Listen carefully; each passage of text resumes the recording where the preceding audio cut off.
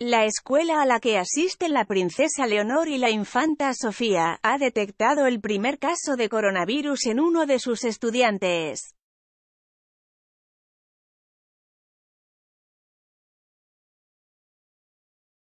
Y es que la grave enfermedad se ha propagado rápidamente por España y cada día son más los contagiados.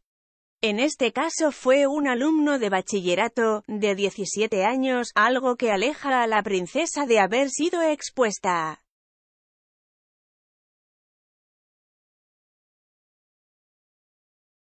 Por este motivo, la institución ha realizado una reunión de emergencia entre la Consejería de Sanidad y Educación de la Comunidad de Madrid, todo junto a la Directora General de Salud Pública de Madrid.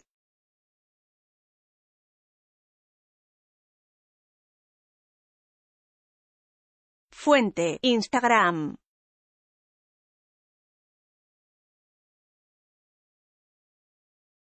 La Asamblea buscaba determinar y valorar las consecuencias, además de advertir las medidas a tomar a partir de ahora. De igual manera, han mandado un comunicado a las familias de los estudiantes para informar que se detectó un caso positivo de coronavirus.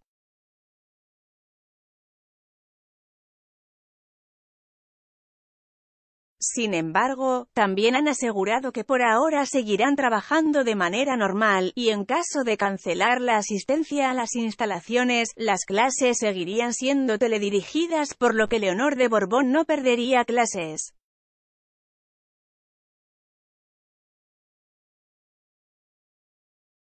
Fuente, Instagram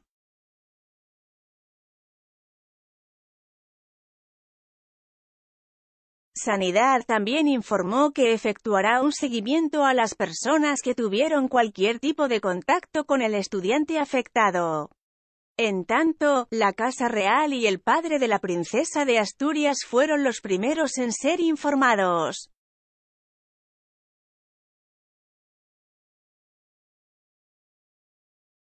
Fuente, Instagram